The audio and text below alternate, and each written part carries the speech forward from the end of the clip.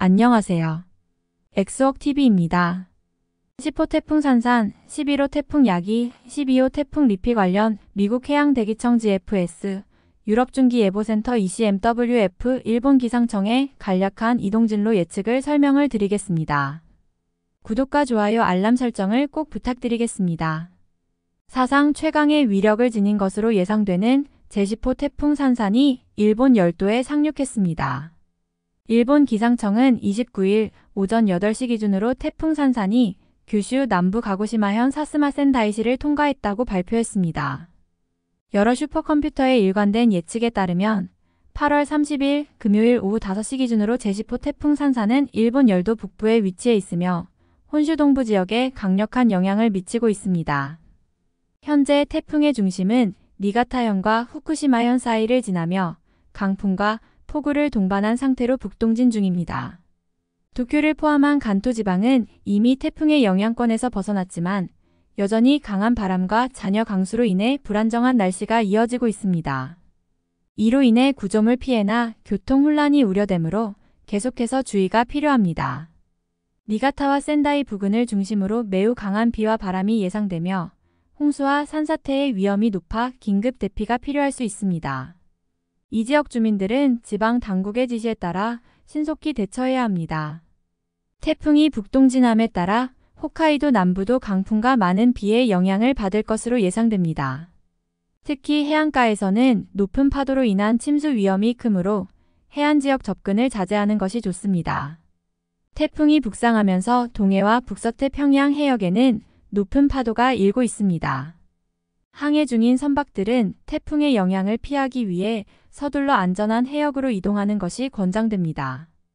해안 지역 주민들도 강한 파도와 바람에 대비하여 안전 조치를 취해야 합니다. 8월 30일 오후 5시 기준 태풍 산사는 일본 북부 지방에 큰 영향을 미치고 있으며 강력한 바람과 폭우가 계속되고 있습니다. 피해를 최소화하기 위해 주민들은 일본 기상청과 지방 당국의 경고에 따라 철저히 대비하고 대피해야 합니다. 한편 유럽 중기 예보센터를 살펴보면 9월 3일부터 대만 동쪽 해상에 저기압과 일본 열도를 통과 중인 시포태풍 산산의 저기압 시스템이 상호 간에 영향을 주면서 11호 태풍 야기로의 발달 과정에 일부 영향을 주고 있다고 보여집니다. 11호 태풍 야기로 발달할 것으로 보여지는 이러한 대만 인근의 저기압의 발달 과정과 10호 태풍 산산의 상호작용이 결국 11호 태풍 야기로의 발달에 영향을 줄 수 있다는 것을 세 가지 근거로 설명을 드려보면 첫 번째 이유로는 강력한 태풍은 주변 상층 대기의 흐름을 변화시키는 능력을 가지고 있습니다. 제10호 태풍 산사는 일본 열도에 영향을 미치면서 강한 상승 기류를 발생시켰고 이로 인해 주변 지역의 대기 순환의 변화가 생겼습니다.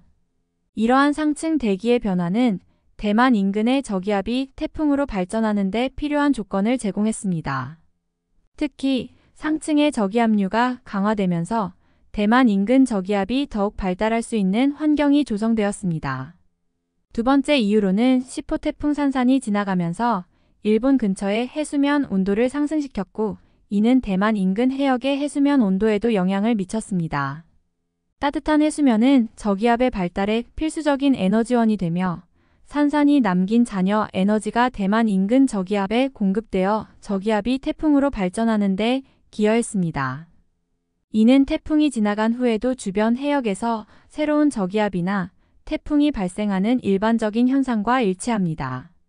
세 번째 이유로는 태풍 산산이 일본 열도에 강력한 영향을 미치는 동안 그 주변 지역에서는 기류의 수렴이 강화되었습니다. 이 수렴 효과는 대만 인근의 저기압에 강한 하강 기류와 상승 기류를 형성하게 했고 이는 저기압이 태풍으로 발전하는 데 필요한 원동력을 제공했습니다. 특히 태풍 산산의 후면에서 발생하는 강한 하강 기류가 대만 인근 저기압의 중심을 더욱 집중시키고 강력하게 만들었습니다. 이러한 세 가지 이유를 바탕으로 제시포 태풍 산산이 대만 인근의 저기압과 상호작용하여 그 저기압이 11호 태풍 야기로 발달할 것으로 보여지며 이것은 어디까지나 저의 개인적인 생각일 뿐임을 알려드립니다.